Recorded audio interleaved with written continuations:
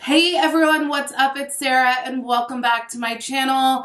Thank you guys for bearing with me. I took a couple days off, needed a little bit of a mental health reset, and I traveled back to California for my grandmother's funeral. As you guys know, she passed away at the beginning of February, and we were just able to really celebrate her life this past weekend. So I feel very grateful that I had the opportunity to do that. In today's video, I wanted to talk about Sister Wives because I'm still catching up on 90 Day Fiance. We have a lot to talk about when it comes to Ben and Mike. But in this video, I wanted to talk about Sister Wives. I wanted to talk about Logan.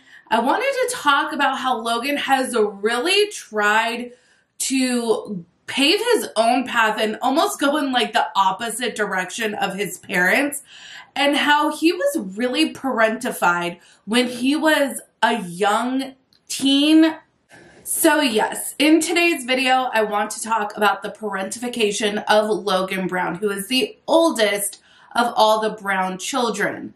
I find it really interesting and I guess it's natural in a way that the older the kids get, the less involved they are with the show of course, the kids are getting married, they're growing up, they're moving away. So it is sort of a natural progression, it would seem, but it, there definitely are older children that are more involved than others. I would say Logan is probably one of the least involved with the show anymore. We see Mykelti, Mariah, Madison, they pop in from time to time, but Logan, he has really tried to pave his own path, and it's really not a shock as to why. So, what is parentification? Well, according to Wikipedia, parentification is the process of role reversal whereby a child is obliged to act as a parent to their own parent or sibling.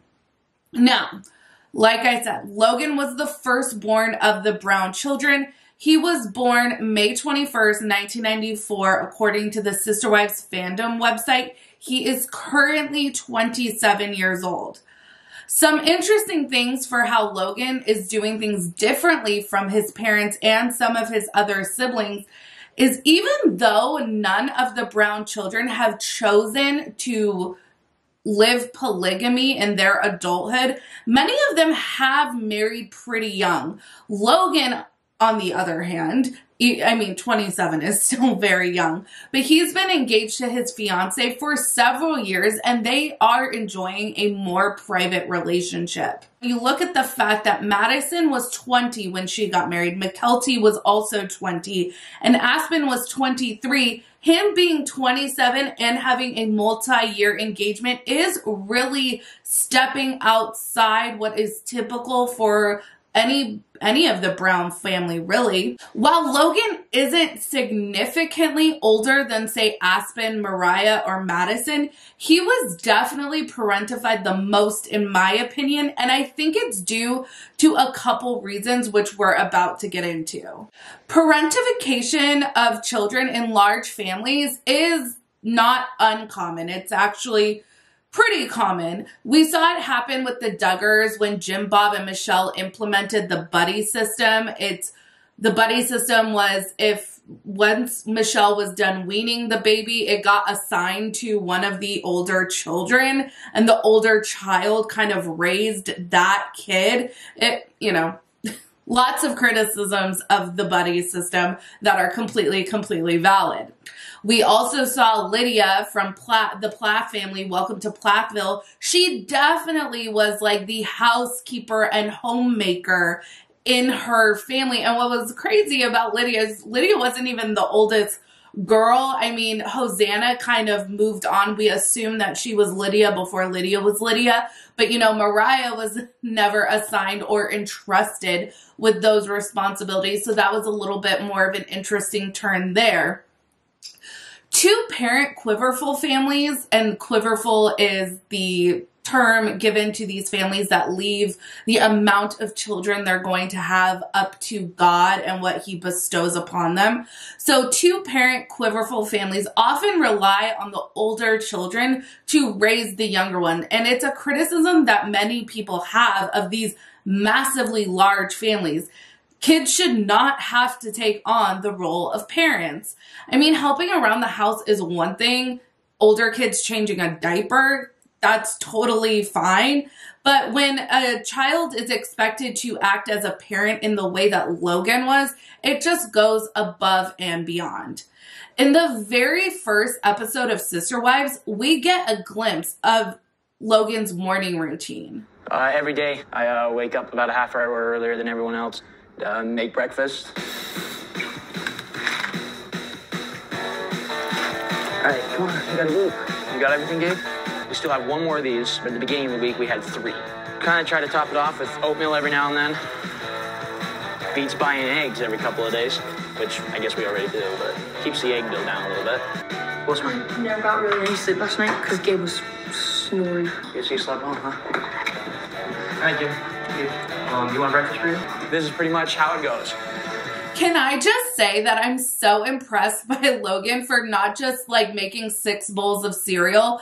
In this clip, he's making full on breakfast. There's breakfast burritos, scrambled eggs. And, you know, in this same episode, when we're being introduced to the Browns, we see Meri just kind of toss a granola bar at Mariah. So, what Logan is accomplishing for the Janelle group of kids is quite quite impressive, I must say. I think part of the reason why Logan was parentified at such a young age was partly due to Janelle's work schedule. She describes leaving the house around six in the morning and not getting home till seven at night. She also does in this first episode go on and on about how much she loves working and outdoor chores and not so much indoor housework. I've always been a career person. I've always worked. I would prefer to be working rather than be home with the kids because in a family this big, one breadwinner is not enough. I love it because I get my children and we do all the really fun things together and I get to be the mom, but I don't have to do the cooking or the, the chauffeuring. And you know what? I like working more. So let Christine do that. You know, and Christine likes to do that. I can say I'm going to a movie. We watch my kids, and they have somebody to watch them. I don't have to do everything. Look, I love Janelle, and anytime I, I am a little critical of her, I definitely can understand why some people, you know, might not agree with me. But in this instance, I can appreciate that stay at home mommy is not her thing. It's definitely not my thing either.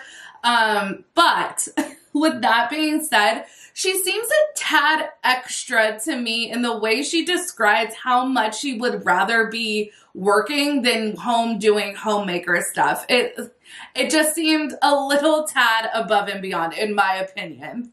All of the wives, all of the wives go on and on about the benefits of plural marriage and the collective raising of children. Let's look back on what Meri had to say when her sister died and her sister wives inherited her children. It's definitely a benefit to this lifestyle to have somebody there and in place if anything were to happen. Well, my sister was in a polygamous relationship. She was the second wife.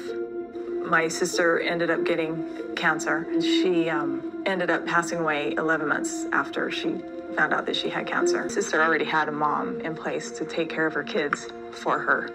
Um, so that's definitely a benefit to this lifestyle because you know I know that there would never be any question that you know Janelle and Christine would be there to step up and and raise my daughter just like I want her. At the point of this clip where we see Logan's morning routine, they were all living in the Lehi house. Why couldn't Kody just pop upstairs or over or whatever and make those kids their breakfast?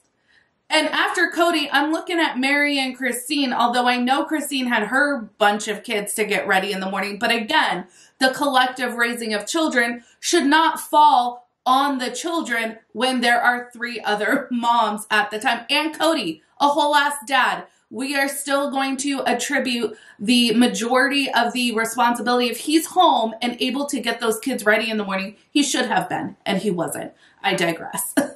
what I'm saying is that if Janelle was out of the house, there were plenty of adults in the house that should have stepped up to take care of those kids before Logan had to. And while kids should never be parentified, it should never fall on a child to have to raise their younger siblings. I know that there are extenuating circumstances, but in these situations where it's like active parents in the household, it should not fall on the children to act as parents to other children.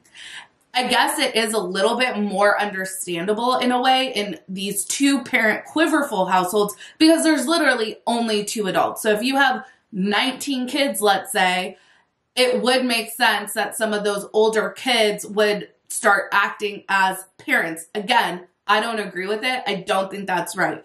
Don't have more kids than you can financially handle or emotionally, physically, mentally raise. My opinion. That's just my opinion.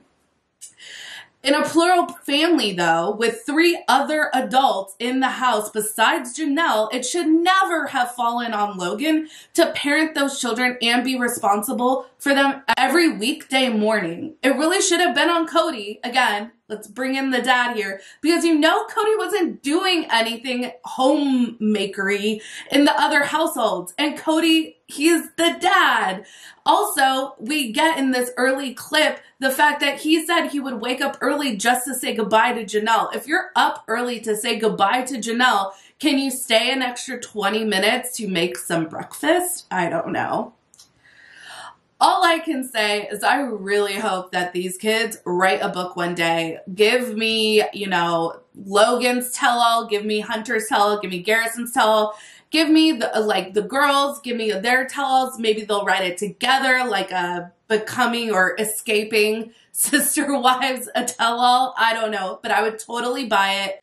It just, it really makes sense why a lot of the brown kids as they get older are starting to pull back and want more private lives. You know, Logan, I think probably is the most distant from the show um, he still does appear in Peyton's TikToks. He seems to still retain a close relationship with his mom. Not sure what the relationship like is there with his dad, but it is nice to see that he still is you know, close with his family. He just really seems to not want anything to do with the show. And I can see why. He had to be a parent at 15 or 16. It completely makes sense now why he would wait to get married, why he's waited to start a family. It just completely makes sense. So you guys, let me know what you think down in the comments. Make sure you like this video, subscribe to my channel, follow me on Instagram and Twitter at Reality Squad, and I'll catch you guys in the next video. Take care. Have a good one. Much love.